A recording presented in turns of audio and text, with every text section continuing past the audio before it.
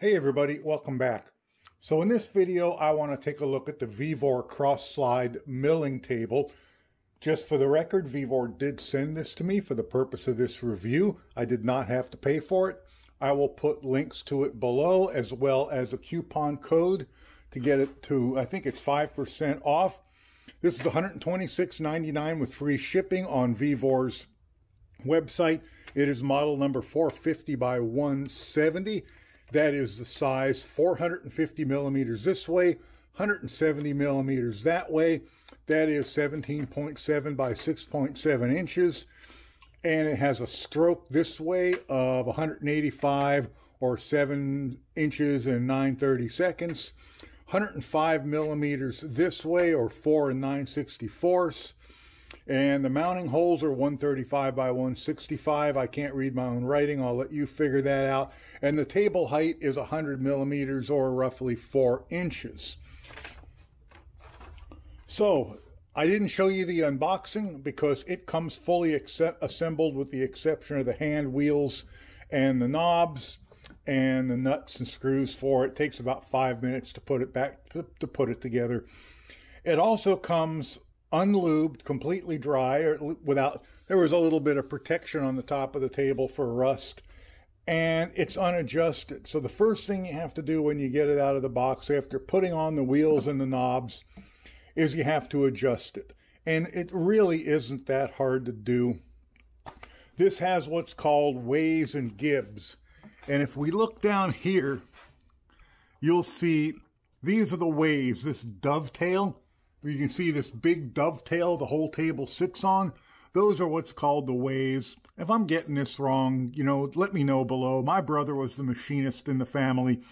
I'm a tinkerer, backyard hot rodder type of guy. So, and then these plates that run across, you can see them right in there. Those are the gibs.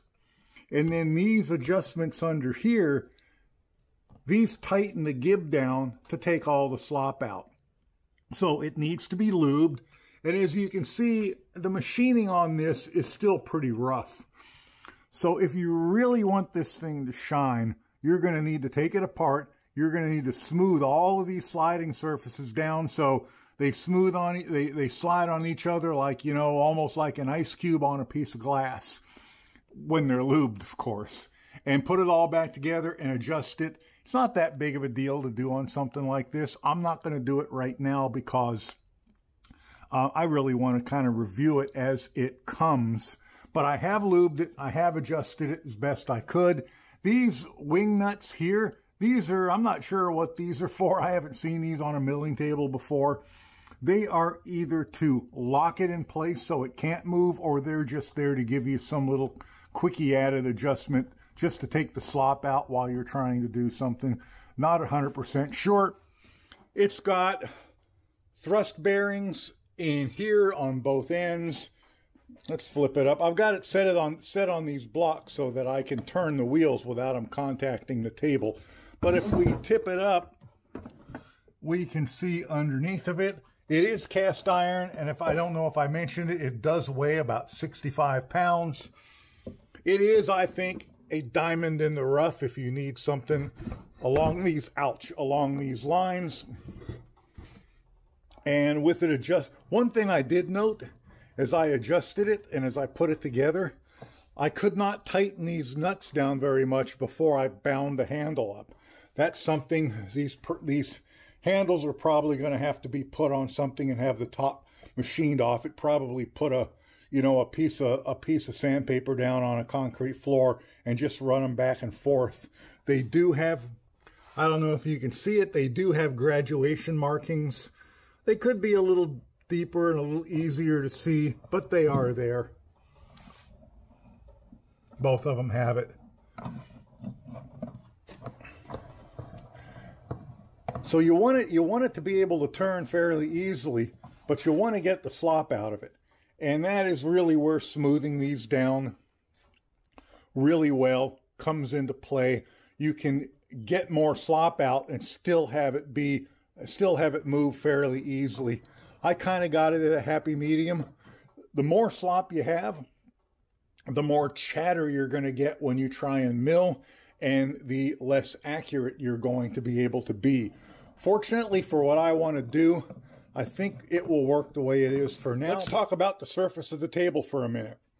I do not have a mill level straight edge, but what I do have suggests that that's been milled pretty flat. I think it's pretty flat. It's certainly flat enough for what I'm going to use it for. Now, these slots here, these are for T-nuts. Now, I do not have a T-nut that fits this. Vevor says it's an M10, but that it may be an M10 stud that goes into the T-nut, but that is not an M10 sized size T-slot. That is more like a half inch T-slot.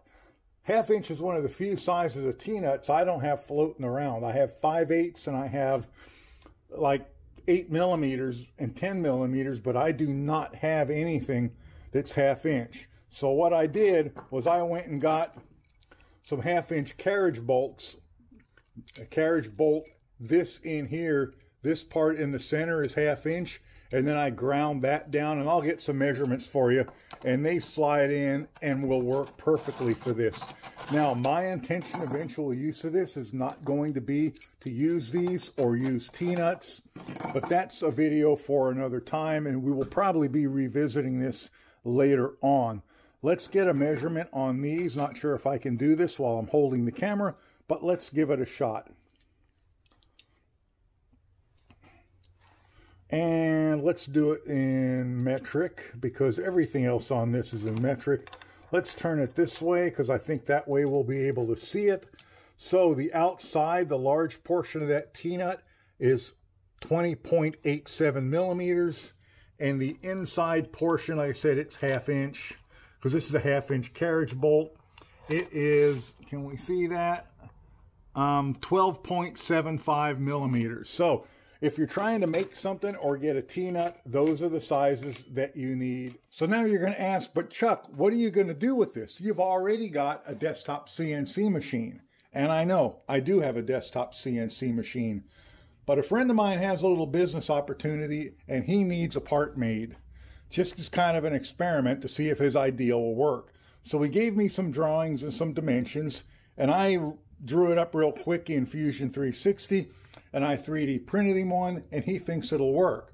The problem is, the 3D printed plastic one, even in nylon, would not last 10 seconds where it's going to be put. Uh, 10 seconds it would, but it wouldn't last long enough to really, you know, be a proof of concept.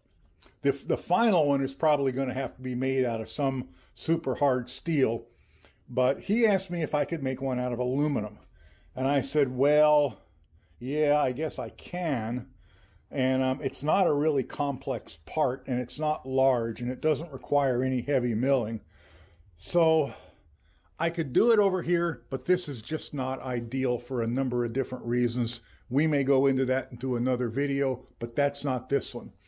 So my plan is to use this, and this is where y'all are going to get down in the comment section below and start typing furiously. And go ahead, you know, I know you got to get it out of your systems. I get it. I understand. Uh, but don't think I don't already know what y'all are going to tell me. My idea is to put that over on here and make that first little part over here. This is a drill press.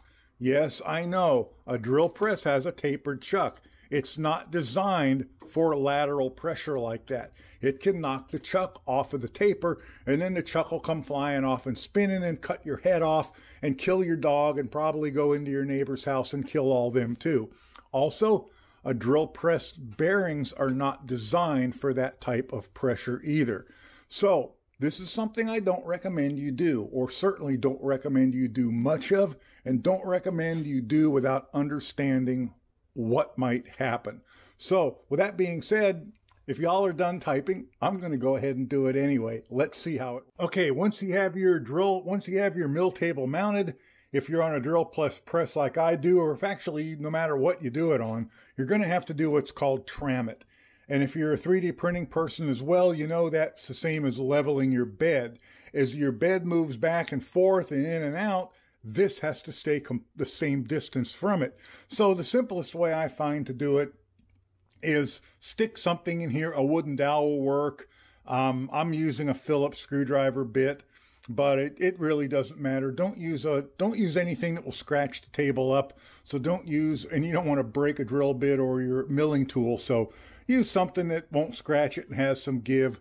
I'm using, a, say, a Phillips screwdriver bit. Stick your stick your Phillips, un, your excuse me, your feeler gauge under it, and then you're just going to move it back and forth. And I don't need more than a few inches of stroke here. And just keep rechecking it. I already did this off camera. Okay, so I think I'm ready to give this its first try. And just for the record, I cannot even bolt this down in all four spots to my drill press. I can only get it front or back, so I have it bolted down to the front, and I have the back held on with clamps, vice grip clamps.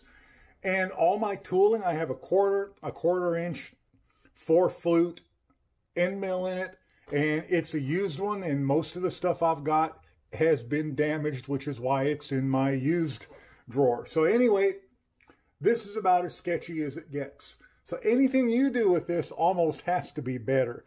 Sorry, forgot to start the camera, so I've done a little bit. Let me um, brush that off so you can see it. I'm only trying to take about, I don't know, 16th of an inch down. And honestly, that turned out better than I thought it was going, going to. Now that the camera's running, let's keep going.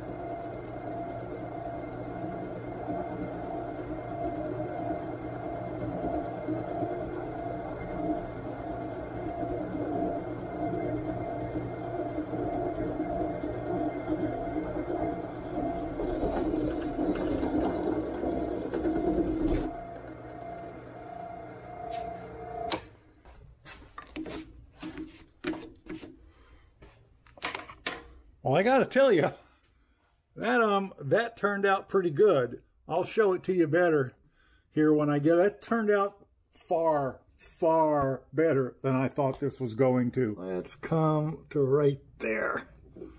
All right, I like that depth. Now let's cut that flat. I think I'm going to have to be this way a bit. Let's see what we can do.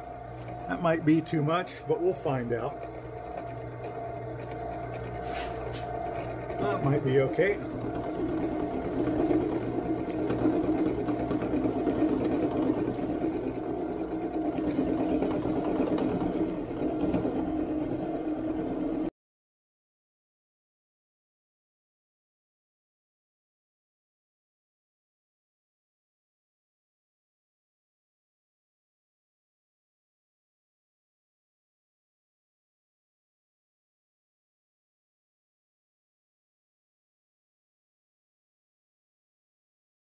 There we go there. One other thing I want to do is I want to see if I can plunge cut and then widen it out into a rectangular hollow.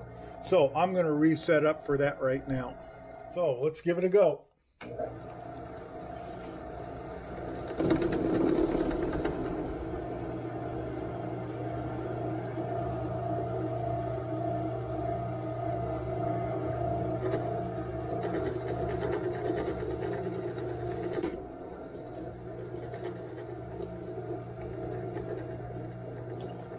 I'm going to do is I'm going to lock my depth right there. I don't think I'm going to go any deeper than that. And now I'm just going to cut myself my